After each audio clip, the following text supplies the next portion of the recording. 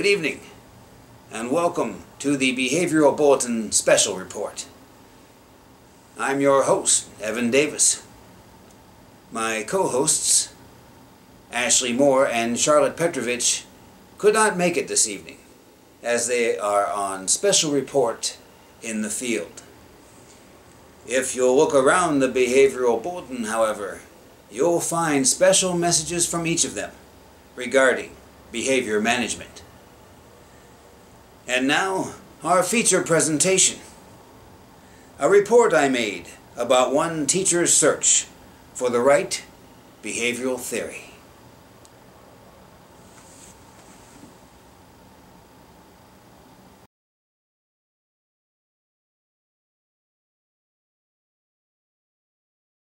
So class, we've talked about nouns and verbs and adjectives.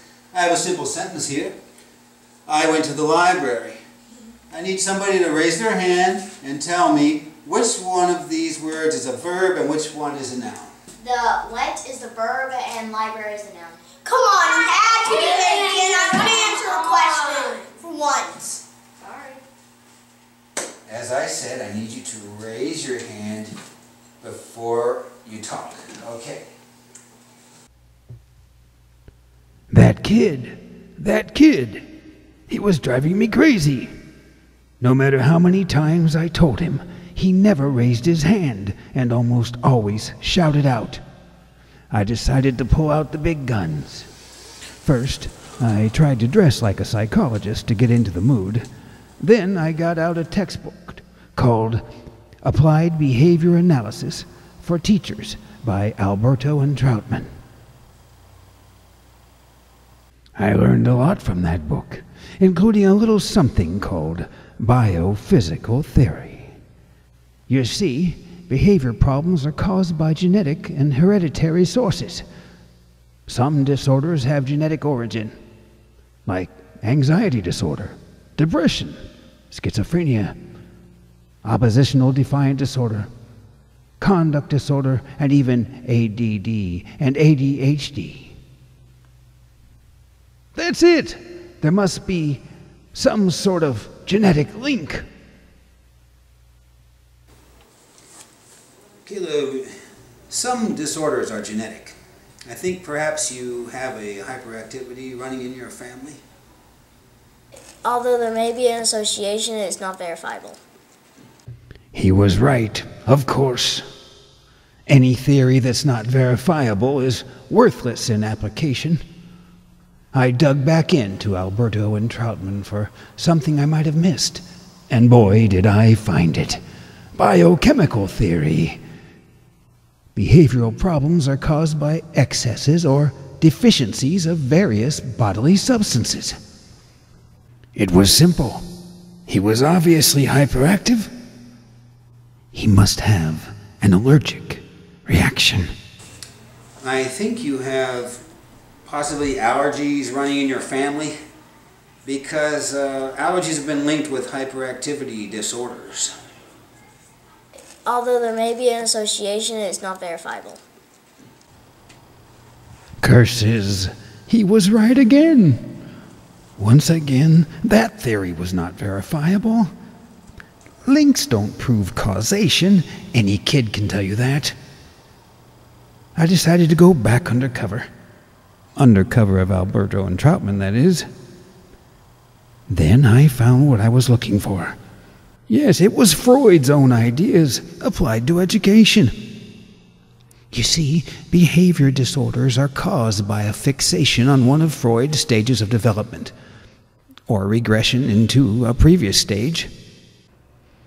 That's when I landed on the theory that fit my student to a T. A person fixated at the oral aggressive stage may be sarcastic or verbally abusive.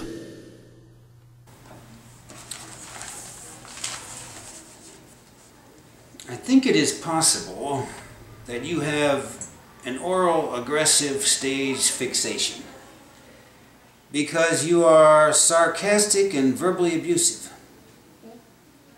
Psychoanalysis is in order. I want you to think back, back, back to when you were very young. You mean like yesterday? Since all processes take place internally, it's not possible to prove their existence. Well, that kid was batting a thousand. Because he was right again. All those processes may be taking place all right, but there was no way for me to measure them. Therefore, Freud's theories were useless to me for educational behavioral applications. I trudged onward, onward, onward into Alberto and Troutman until I landed on what must be the answer Piaget's theories. His theories had to do with stages, too, with a few major differences. Mainly,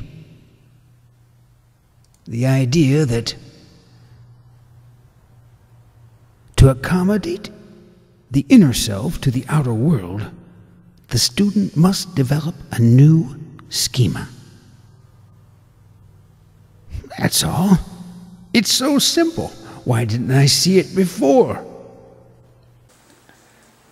According to Piaget, you children are little scientists, always trying to make sense of the world. You may be fixated upon the pre-operational stage because your language development is faulty and you fail to understand the symbolic significance of following the rules of the classroom.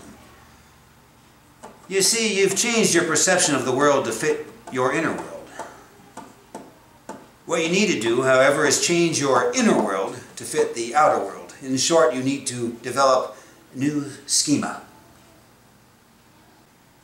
All processes take place internally, so they are not verifiable. I was beginning to think maybe my student should have written his own textbook. When I finally stumbled upon one more theory. It had been there all along, I just hadn't noticed it. Like a shiny stone just beneath the surface of a stream. It was a little something called behavioral theory. It was all pretty simple, really, and easy for me to understand. All behavior is learned. It talked about a little something called positive reinforcement. Positive reinforcement is what you give a student to encourage their repeating a certain behavior. Types of positive reinforcement can be primary, like food, or secondary, like stickers and stuff. Then I stumbled upon a little technique behaviorists like to call extinction. That's where you ignore a kid's behavior, and the behavior goes away. Eureka! I would implement a positive reinforcement plan to the entire class for remaining quiet, and at the same time, I'd ignore Caleb's shouting out. He would no longer receive any reinforcement from me or the kids by way of attention for his shouting out, thereby putting his unfavorable activity into extinction and replacing it with raising his hand before talking. I knew what I had to do. Now all that was left was to put it into action. Caleb, for every day that you don't shout out and only raise your hand, I'll give you a pick of items from teacher's treasure box.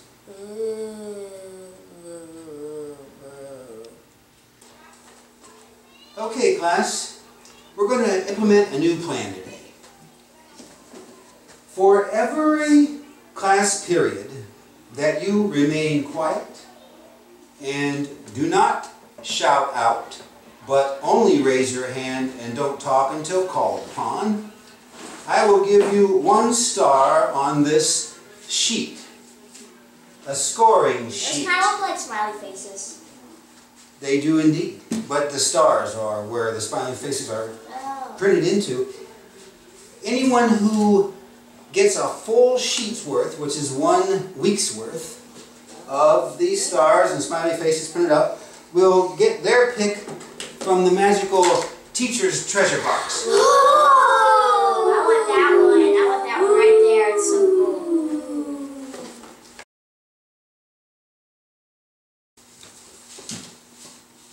so uh, let's try the next one. Who can tell me what 3 times 11 is? 33. Um, Robert? 33. Good job. Thank you for raising your hand, Robert. Who can tell me what 7 times 4 is? Uh, Jalisi?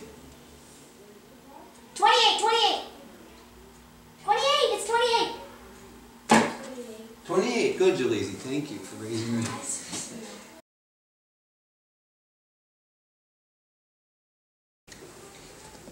The AU sound, also known as a diphthong here, it has uh, two different sounds. One is ah, and the other is, uh, who can tell me?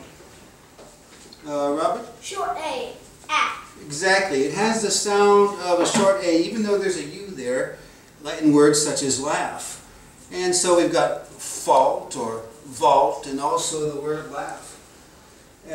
Both two very different sounding sounds from the same vowel pair, also known as diphthong, AU. Uh, thank you, class. You've been a very good uh, today. We appreciate it. And as always, you making big improvements. Give me five, buddy. All right.